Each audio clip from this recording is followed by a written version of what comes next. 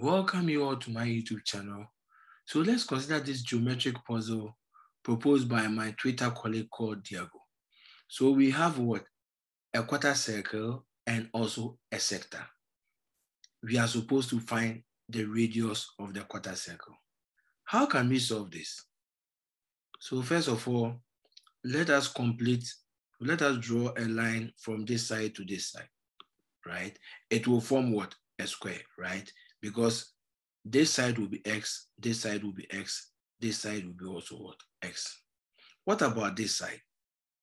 So we know that anytime we have a square which is inclined, which is, which is at the end of a sector, what will be the angle?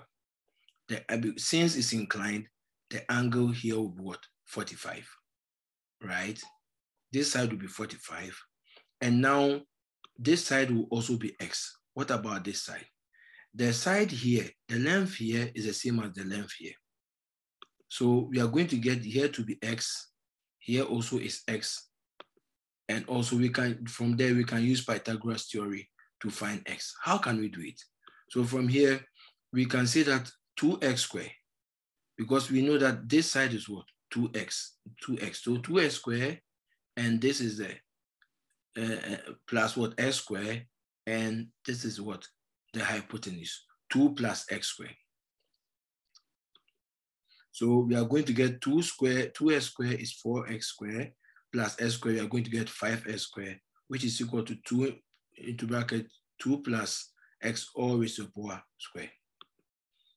So from here, we know that we can take the square root of both sides, right? We are going to get x root 5 is equal to 2 plus what? x. Then we are going to get what? We group like terms, we are going to get x root x root 5 minus x is equal to 2. And from here, we are going to get x is equal to 2 divided by root 5 minus 1. What does this, this uh, fraction remembers us? So we know that this is what? The same as what? Phi, phi phi. So that is the answer. So x is equal to phi. I hope you got it correct. Thank you for watching. And always, you can subscribe to my YouTube channel for more educative videos.